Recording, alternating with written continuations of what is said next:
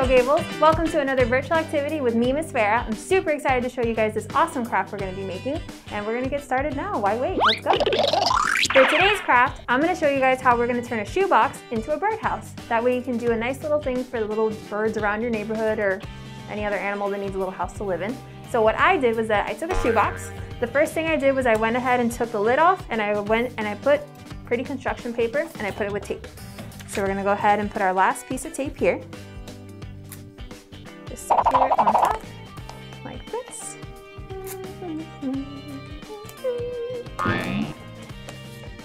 One last piece of tape.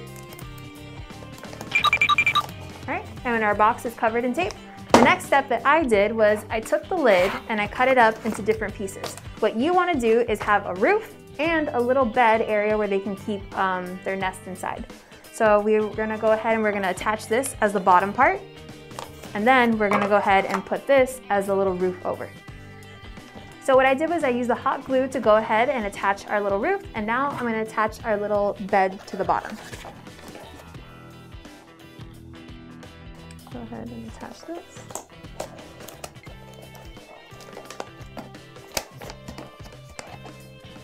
Alrighty, this is what our birdhouse looks like right now, and then the next thing we're gonna do is we're gonna make them a welcome home sign. So I took a piece of paper with my crayons and I wrote home sweet home and I put a bunch of little bird fingerprints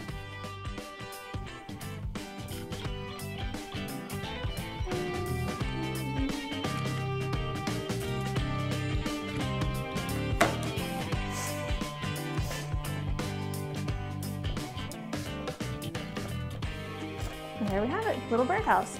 Now some extra details you can do is you can add bedding to the bottom something like this if you have a pet at home like me. Or you can take grass or newspapers, just anything soft that you can stuff in here, and this would be where they hang out and rest. All right, one last thing that we're gonna do is we're gonna go ahead and add a little hook for you guys to hang it somewhere. So what I did was that I took a piece of paper and I rolled it up really, really tight, just like this, and we're gonna glue it now on the top.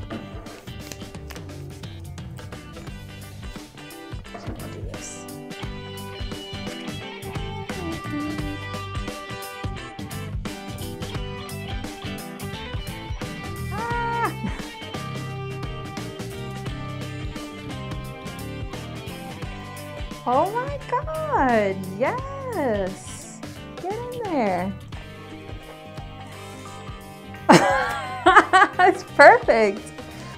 And there you have it, City of Coral Gables, a super fun way you guys can make a nice little birdhouse for your neighborhood. And mine came out really good, so make sure you show me yours. Hashtag us play Gables at home, and we'll see you next Friday. And make sure to leave a comment on what you think about Pengy's new crib.